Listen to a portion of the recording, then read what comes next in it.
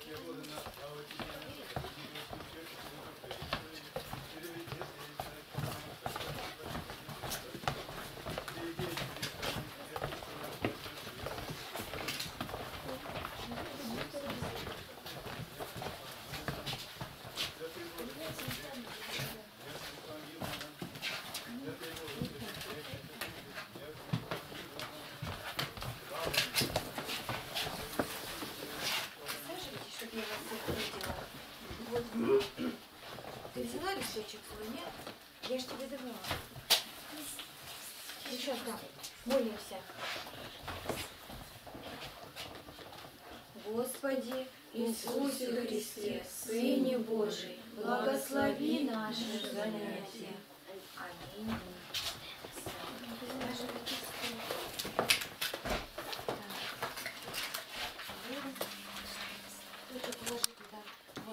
Листочек. Ручку. Ручку. У тебя есть ручка, Полина? Мама мне сказала, быстрее. не нравится ручку. Время не на это. На. Все. Так. Я вам сейчас стих из Библии прочитаю. Сначала я его вам прочитаю а, по-славянски. И просто хочу спросить, у- у- хотя бы, ну, может быть, вы его, вы его наверняка слышали? Ну, мы его слышали на русском языке, а вот на славянском. Десницу твою так скажи ми, и окованные сердцем в мудрости. Вот догадаетесь сложности перевода? Вот иногда по-славянски прочитаешь, и в принципе, ну, что-то почти близко к тексту можно понять. Если даже не произнести, ну, понятно, о чем говорится. Вот здесь вы поняли, о чем? Вот есть очень э, такие сильные заступники славянского языка, говорят, так ну он же почти как русский, все понятно. Вот стих из псалма. Десницу твою так скажи мне, окованные сердцем в мудрости. Ну, десницу, в принципе, понятно. Десница это правая рука. Та твою, твою, понятно, это значит Бога, да? Дальше сердце, мудрости, окованные. Окованные тоже сложно, особенно вы, наверное, вообще не понимаете, что такое окованные, да? Ну, понятно. Ну, по крайней мере, я вот выписывала из параллельного перевода, то есть славянский и а, русский. Это замечательный, прекрасный стих, который перевели переводчики, а переводили Библию не простые люди, а зна- знающие языки, древние языки, сравнивали с другими переводами а, разных веков. Переводили буквально по одной строчке в день, может быть. Представляете, вот такая строчка. И нужно было ее понять смысл, сохранить смысл, не дословный перевод сделать. Вы же знаете, что значит дословный перевод, а что значит перевод на другой язык. Это порой совершенно две разные вещи. Потому что что означает это слово буквально и что означает смысловую нагрузку нужно перенести, это две разные вещи. И этот стих на самом деле перевели так. Научи нас так счислять дни наши, чтобы нам приобрести сердце мудрое. Давайте запиш- запишем этот стих. Сегодня дату пишите. Ну, какой у нас? 20 10 19 стих. Псалом 89, стих 12. Пишешь? 20 Если кому долго писать, вы можете только место указать. Псалом 89, 12. А сам стих вы пишите дома из псалтыри. Откройте псалтырь. Псалом 89, стих 12 и выучить его. Давайте все вместе прочитаем его. Три-четыре. Научи нас так счислять дни наши, чтобы нам приобрести сердце мудрое. Тарас, скажи, вот как ты понимаешь вот э, этот стих? Вот посмотри на него. Ну, ты его наверняка слышал. Ну вот, не, не бойся, своими словами, как, о чем здесь э, сказал псалмопевец в этом псалме? То, что каждый день может быть последним. Так, хорошо. Нестор, как считаешь, о чем этот стих? Вот, Тарас говорит, чтобы мы думали, что каждый наш день может быть последним. Ну и дальше-то что? Дальше-то что? И правильно ты, ты мыслишь. Кто, кто дополнит? Нестор. Ну посмотри на стих-то, посмотри.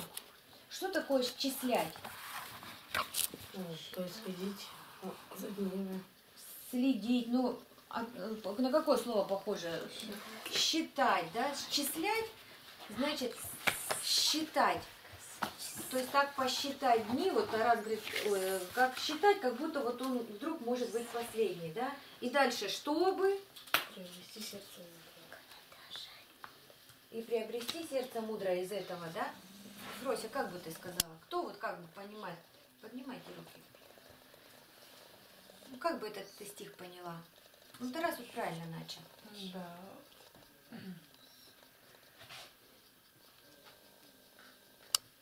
То, размышляя о дне смерти, можно приобрести мудрость через это. Через это. Да. То есть, если мы будем понимать, что мы живем на этой земле не вечно, да, что наши дни все имеют определенное число, и нам это нужно понять. И понимая то, что дни наши сочтены, дни наши имеют какой-то предел, человек через это приобретает сердце мудрое. Ведь очень часто люди уходят к Богу, пониманию смысла вообще их жизни, смысла жизни на земле, смысла жизни человечества. Понимают когда? Когда уже только наход- находятся на смертном одре, да? когда тяжело болеют и понимают, что жизнь их вот-вот закончится, а зачем она была? А неужели я жил, чтобы сейчас меня закопали, чтобы меня там, чтобы нет ничего от меня не осталось, да? Да неужели для этого нет? И они начинают тогда понимать, и порой это оказывается уже поздно. Человек не успевает осознать все полноты, он не успевает... э, нет, бывает такое, что успевают и покаяние принести, но, как правило, это очень-очень сложно. Я даже вот разговаривала со священниками, когда люди неверующие жизнь прожили и при, при- приходят к умирающему постели, чтобы вот священник его исповедал, причастил, если не крещеный, еще и крестят. Они говорят, там нет покаяния, священники, там нет рождения свыше. Человек ничего ну, не успевает, тем более болезнь не дает светлого разума, чтобы все это понять, осознать до конца. Уже страдания, э, такое со- со- состояние уже разума не позволяет. Поэтому мудрость-то надо приобрести, пока ты жив и здоров. То есть начинать счислять не в последний день перед смертью, да, а понять. И если это понять молодому человеку, то он с молодости уже будет мудрый, и жизнь он проживет, будучи мудрым. Вот мы все знаем, когда мы родились, да? Каждый знает свою дату рождения. Каждый знает свою дату рождения, радуется этой дате рождения, ждет его, потому что подарки на день рождения, да? Забыла, Анюта тебя, да, зовут? Анюта. Подарки дарят на день рождения тебе? Любишь день рождения? Любит день рождения. Все дети любят день рождения. Но почему-то не любят день рождения уже взрослые, пожилые, старенькие. Очень часто говорят, не надо, не надо меня поздравлять, не хочу, не вспоминайте. Почему? Они стареют, они понимают, что для них день рождения это не праздник, это еще один год прошел. Они уже более мудрые становятся, они понимают, что в дни рождения радости это никакой нет. С каждым днем рождения ты приближаешься к той дате, которую тебе отмерил Господь. Понятно? И осознавание этого дает мудрость. А так ли я эту жизнь живу, а так ли я ее прожил? А что будет со мной, когда меня не будет? И ведь каждый человек не знает, когда этот день закончится. На, переписывайте. Вот смотрите, мы родились, мы знаем свой день рождения. И вот 365 дней в году, да, например, 10 лет это там 3600, правильно? Там э, 20 лет это там 7 тысяч, ну, примерно дней, да, и, например, э, ну, человеку там, не знаю, сколько там, ну, 30 тысяч дней, например, отведено, там, ну, примерно, да, кому-то 50 тысяч дней или сколько, посчитать надо. И с каждым прожитым днем, а уж тем более с каждым прожитым годом, мы приближаемся к концу нашей жизни. И понимая, вот день прошел, и каждый день мы вечером, когда молимся на молитве, мы вспоминаем, а как мы этот день прожили. Мы обязательно благодарим Господа за этот день. А потом каждый у себя спросите, а как я прожил этот жизнь день? Как христианин? А кому я сделал добро? О ком я позаботился? Ведь сделать добро это не значит взять деньги из кошелька, достать и бедному подать. О ком я побеспокоился, за кого я помолился, о самочувствии кого я спросил, а кому я позвонил, а какой совет дал, а что-то поинтересовался. Можно даже не выходя из дома делать добрые дела. И так ли я этот день прожил? Ведь этот день не вернешь, счислять дни, что считать эти дни, смотреть на эти дни не вернешь. И завтра будет новый день. И новый я отчет перед Богом и пред собственной совестью должен дать, пред самим собой. А как я его прожил? И так каждый день. И вы понимаете, что вот там отведено 50 тысяч дней прожить. И вот сегодня уже я день прожил. Уже осталось 49 тысяч 999 дней. Завтра 49 тысяч 998 дней. И каждый день нас приближает ко дню, когда жизнь наша земная здесь закончится. В этом нет ничего страшного. Некоторые говорят, детям нельзя говорить, что мы умрем, что жизнь на земле временная. Ну а как детям не говорить? Дети что, глупые не знают? Вот ты знаешь, что мы на земле живем определенное, что человек рождается и умирает. Ты знаешь? Да. Знаешь. Откуда ты знаешь? Ты сказала. Я сказала.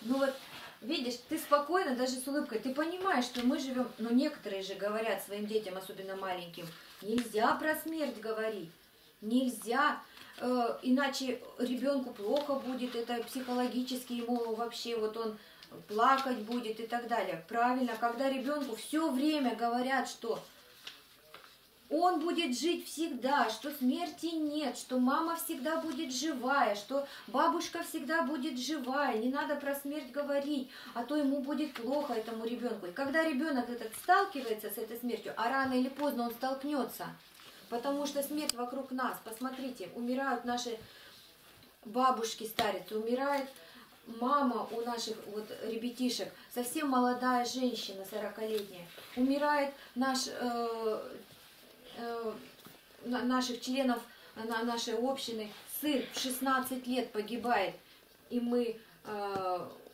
едем на похороны.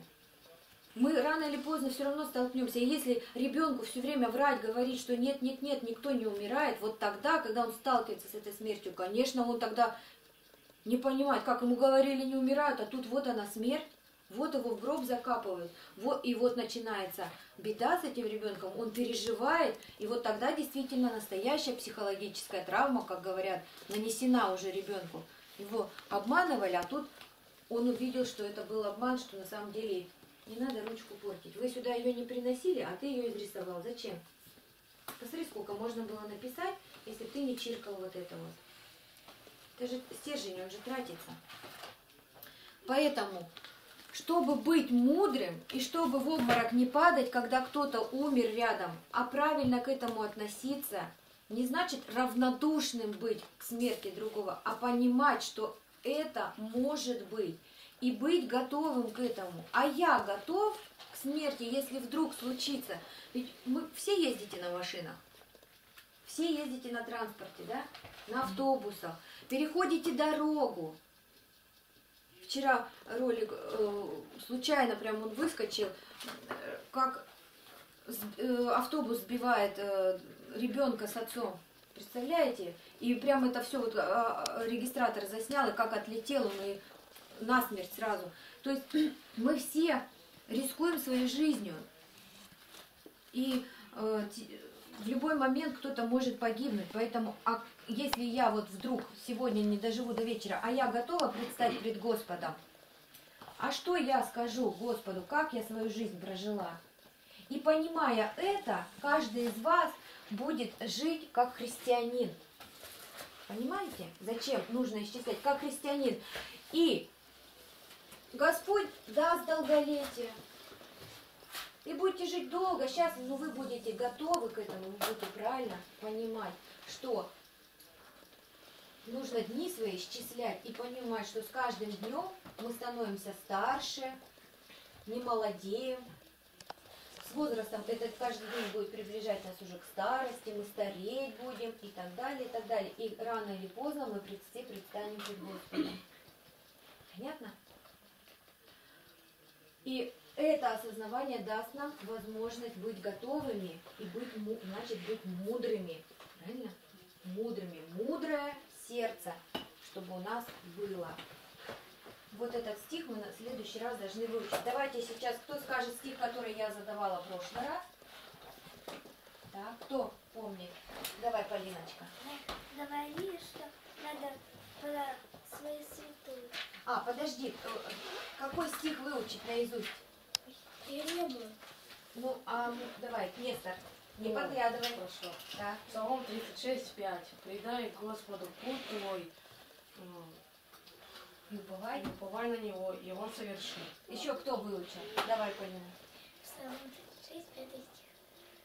Дай Господу путь твой и уповай на него, и он совершит. Так. Остальные выучили? Давайте хором повторим, а и Фрося нам доклад еще приготовила. Давайте. Предай Господу путь твой, и уповай на Него, и Он совершит. Псалом 36, 5. Так, и вот продолжением этой темы приобретения сердца мудрого, скажите мне, кто считается самым мудрым человеком, который жил на земле? Так, еще кто как скажет? Нет. Соломон. Соломон. И вот про Соломона, сына царя Давида, про которого мы четыре занятия разбирали жизнь этого замечательного человека, второго царя израильского Давида, его сын, третий царь, которого звали Соломон. Давай, рассказывай. А, Соломон родился в 1011 году до нашей эры. А, Правил а, с 1965 по 1028 год. 928. 928 год, пока не умер. А, И а, он должен был получить э, власть после смерти царя Давида, как его наследник. Но его старший брат Адония, а, воспользовавшись слабостью по обстоянию жизни Давида, попытался захватить власть. Заговор, да. Он хотел устроить заговор. Ты не сказала от начала, вот он родился, кто его родители? А, Давид и Версавия, любимая жена. Да, царь Давид и Версавия. А мы помним, что тогда в Ветхом Завете было разрешено многоженство, у Давида уже были жены. Помните, и вот пророк-то осудил, у тебя сколько овечек, а ты взял овечку, да, у соседа своего, единственную. А у него-то были уже жены, значит, были дети более старшие, чем Соломон. Соломон родился от Версавии, когда у Давида уже было много детей. Так. И вот Адония захотел захватить Да, власть. хотел захватить власть. Но верные э, Давиду люди э, устроили так, что Давид передал власть э, Соломону при свидетельстве первосвященника. А, а Адонию хотели э, схватить, но Так. он забежал в святилище и ухватился за роги жертвенника. А жертвенник это было святое. Да. Святое, э, на котором приносили жертвы Богу. И считалось, кто... А что такое рога жертвенника? Ну, жертвенник это из камней такой как бы помост, на который зажигали огонь и э, производили все сожжения. И э, по бокам были такие выступы из камней. Назывались рога жертвенника. Прибежал Адония, он понимал, что он же хотел власть захватить, узурпировать при живом царе, который старый уже умирал, уже, может, там с постели не вставал, власть уже он не держал так сильно, как при жизни своей. И что он? Э, хотел, скажет, так, все, быстренько, я сейчас стану царем. Он был один из старших, он подговорил первосвященника, военно-начальника главного, который был в этой стране, и хотел себя уже провозгласить, чтобы первосвященник его уже помазал на царство и так далее. Но тут понял, что жареным запахло, побежал он, схватился за жертвенник, а если за жертвенник ты взялся, тебя убить Нельзя. нельзя. Это святое место. Ну, Тут уже его тронуть нельзя. Так каждый может подойти. Каждый не подойдет, нет. Почему?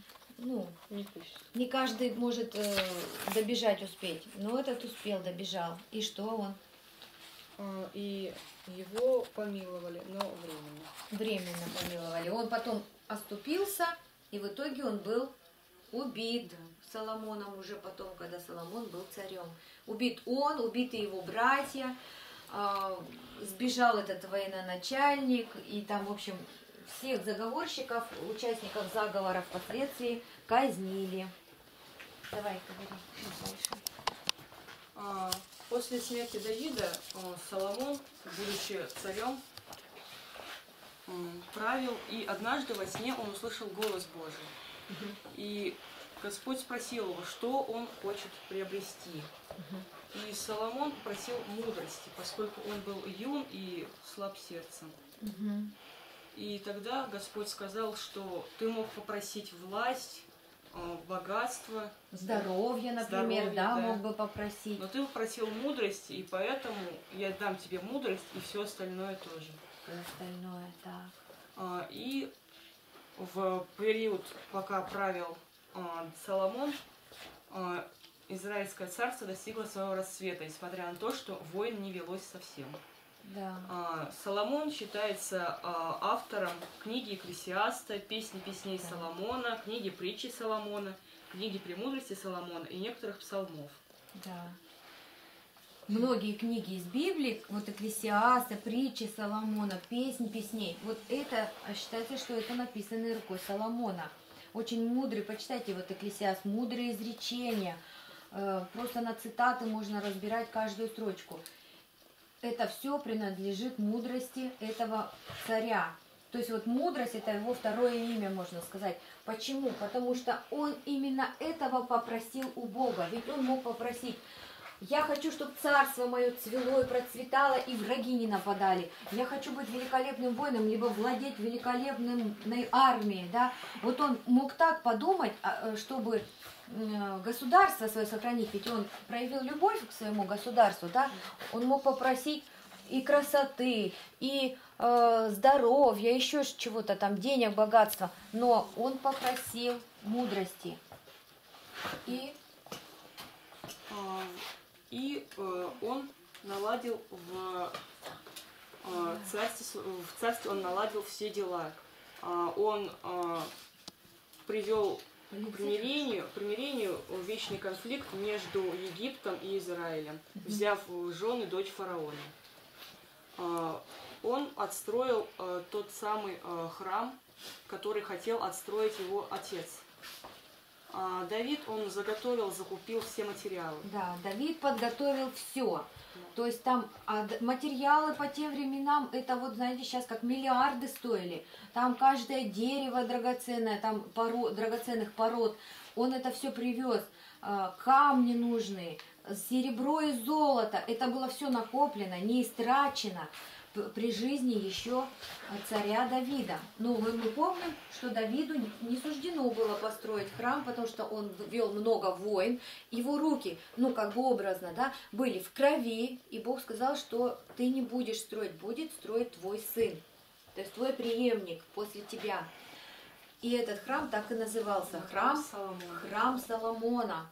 И храм этот строили с большим благоговением, несмотря на то, что там при строительстве использовались обтесанные камни, звуков почти не было на, стро- э, на месте строительства. Да, то есть, потому что это строился храм, Да. дом Божий. Это самый первый храм, ведь не было до сих пор храма Богу.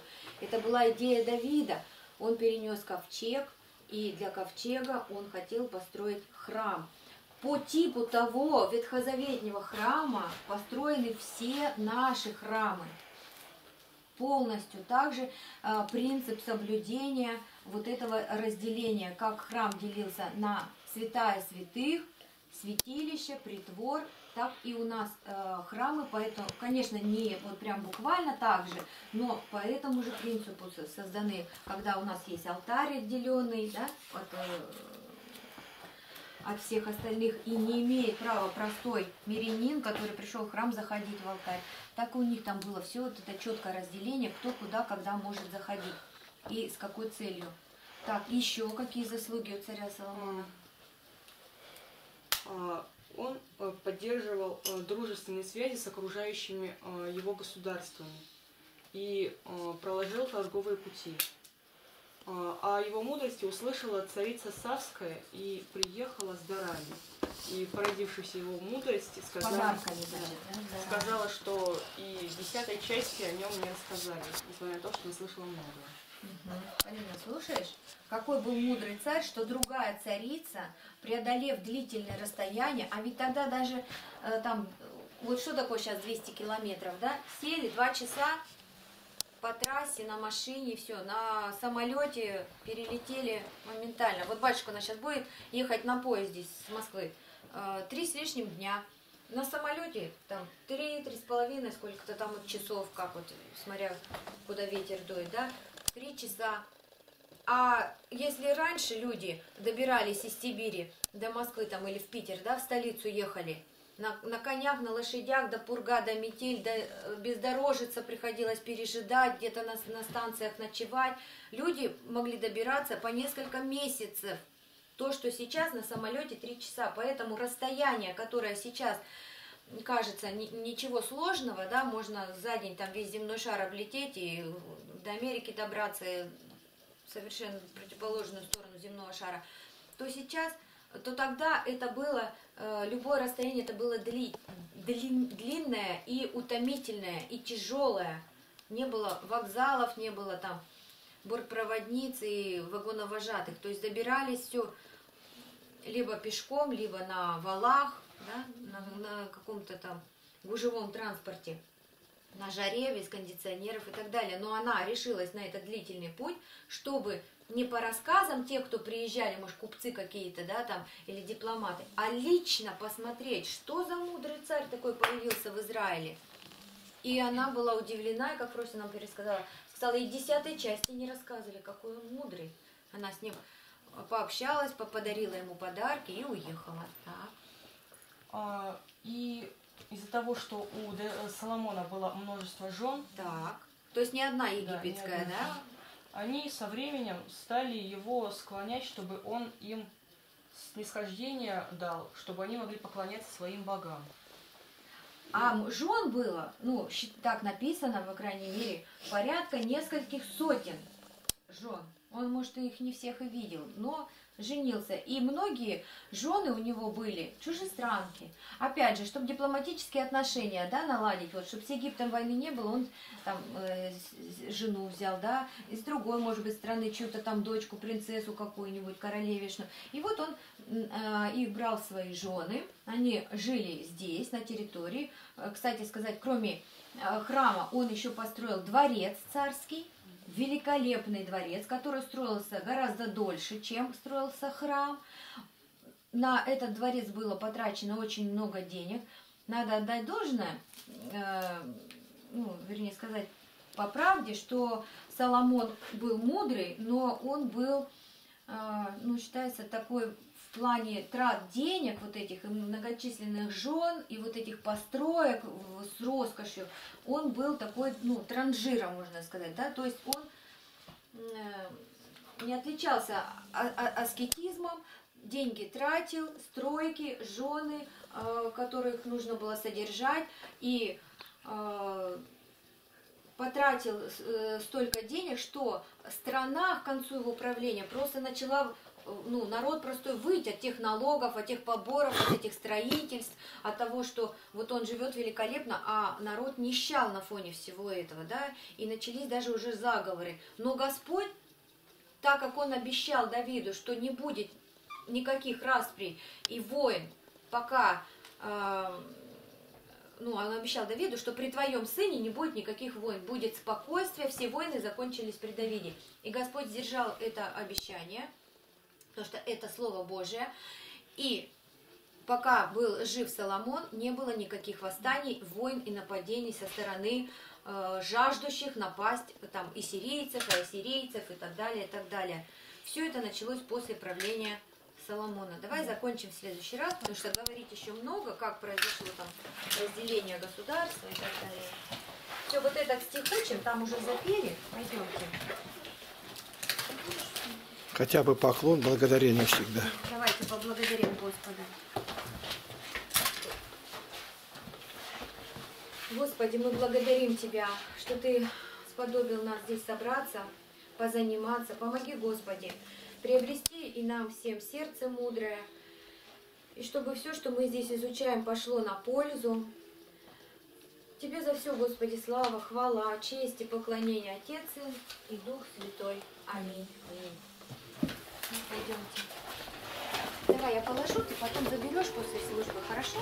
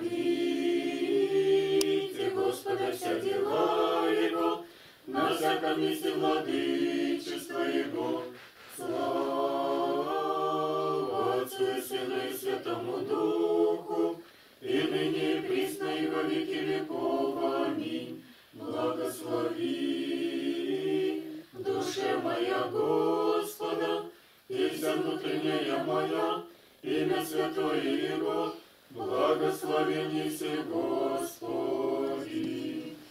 Господи Иисусе Христе, Сыне Божий, помилуй нас.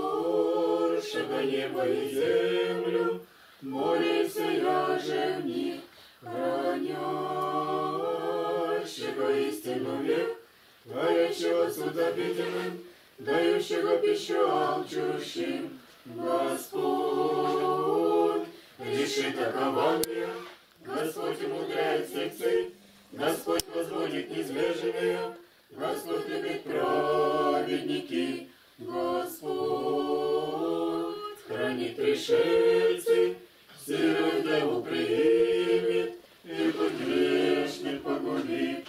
Воцарится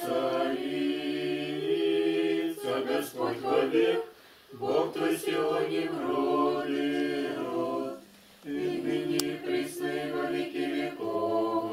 Аминь. Единородный Сын, не в Слове Божьей бессмертен Сын, изволил и спасение нашего ради. Воплотитесь от святые Богородицы и Преснодевы Марии, непреложного человечевися, распнися же Христе Божий смертью смерть попробуй. Все святые Троицы, прославляемые Отцу и Святому Духу, спаси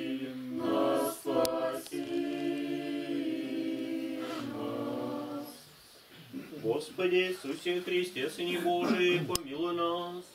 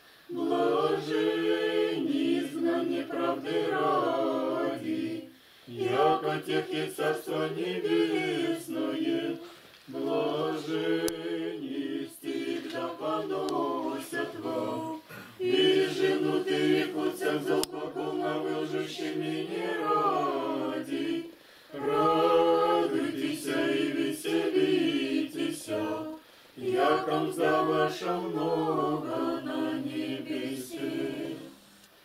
Господи Иисусе Христе, Сыне Божий, помилуй нас. Идите, поклонимся и припадем ко Христу. Спасенный Сыне Божий, воскресы из мертвых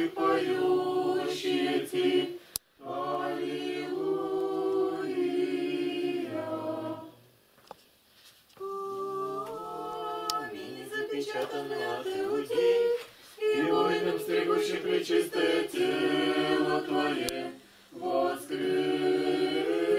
ты сетредневной спасе, даруя мир и жизнь всего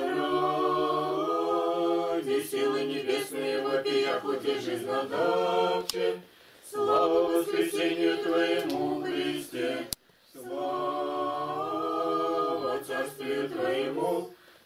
Слава смотрению Твоему, едине человека любче! Воскрес, яко Бог из гроба славе, и место воскресил виси, естество человеческое, яко Бога распевает тянет же, Адам же ликует владыко, избавляемо радуется зовущий, Ты сижи всем подая Христе воскресенье.